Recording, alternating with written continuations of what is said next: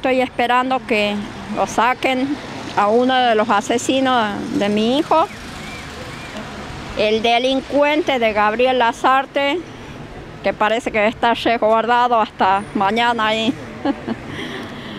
Eh, ¿Cómo está la causa, señora? Mire, la causa eh, está para elevarse a juicio. Eh, acá hemos estado apoyando a mis hijos que han estado en un acto de careo con este delincuente. Ayer también hemos tenido mi yerno con el otro, con Barrera. Y, y bueno, yo creo que con esto ya culmina acá. Esperamos que la defensa pare con los pedidos para poder elevar la causa a juicio, porque la verdad que ya estamos cansadas de esta situación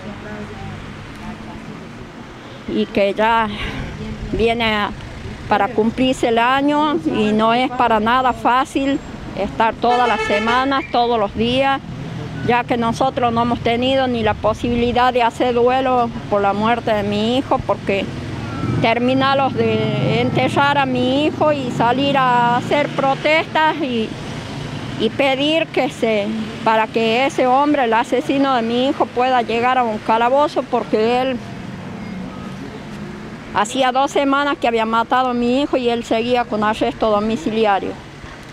Ahora aún estando ahí en el penal, sigan con privilegio y, y, la defensa sigue presentando pedidos y pedidos, el cual no se puede elevar la causa a juicio todavía. Nosotros presentamos un solo pedido, yo creo, hasta ahora y todavía no nos han confirmado que se lo habrá hecho lugar al pedido de premeditación, a pesar de que la causa está completamente probada que ha sido premeditado, pero no nos informaron todavía que se habrá agregado la premeditación.